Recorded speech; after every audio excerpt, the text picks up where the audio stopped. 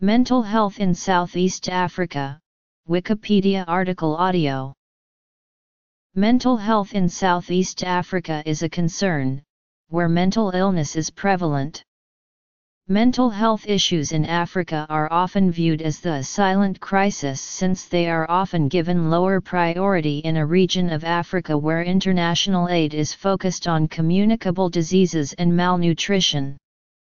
Each country in Southeast Africa is consistently confronted with barriers that make mental health policies a challenge to implement, including the lack of policy, social and cultural barriers, the role of traditional medicine, HIV/AIDS, and the stigma surrounding mental health issues. Priority of mental health Perspectives Causes of mental illnesses Professor ah Anyang Nyong'o oh wrote a letter on June 23, 2011 to the Kenyan National Commission of Human Rights, stating, Currently there is a very big gap existing between the mental health needs of Kenyans and the existing mental health services at all levels of the healthcare services delivery system. Although there is a lack of attention to mental health in the healthcare systems, it is a major issue in Southeast African countries. Efforts have been made in some countries to allocate funding to mental health initiatives. Uganda's policies are a prime example of a successful effort to improve mental health in Southeast Africa. In 2006-2007, after undertaking an initial situational analysis of Uganda's mental health system, a new mental health policy was created. The vision for the project in Uganda is to eliminate mental health issues, neurological disorders, and substance use from the population. From this vision, guiding principles were implemented, key priority areas were identified, policy objectives were selected, and the Uganda Ministry of Health began to make mental health a priority. The World Health Organization continues to work with the developing nations of Africa to implement strategies to improve mental health situations and treatment in these countries. The few countries that have mental health policies in place were created prior to 1990 and are in dire need of updating. Uganda had achieved great success with their new mental health policies and is working in close cooperation with the WHO to finalize their healthcare policy. The WHO is working to move other countries' mental health policies forward.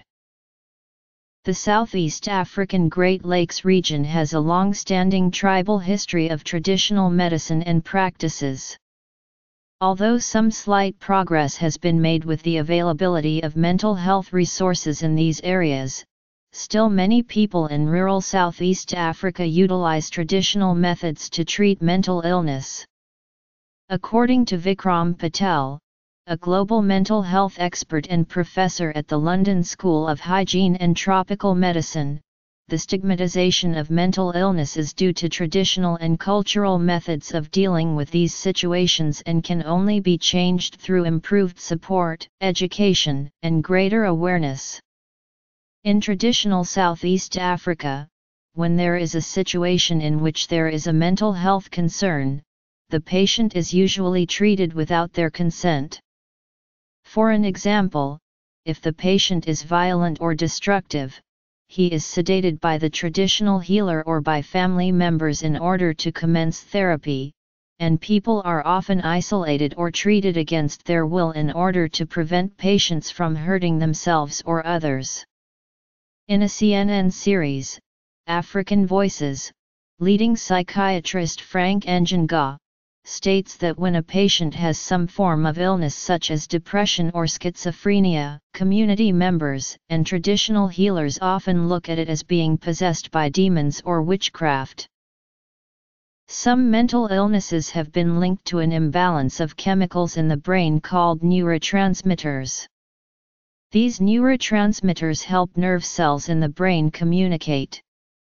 If these chemicals are out of balance or are not working properly, messages may not properly transmit through the brain, leading to symptoms of mental illness.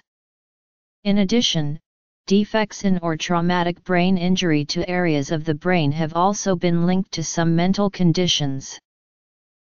Many socioeconomic factors may contribute to mental health, such as disease, political unrest, violence, and any kind of addiction.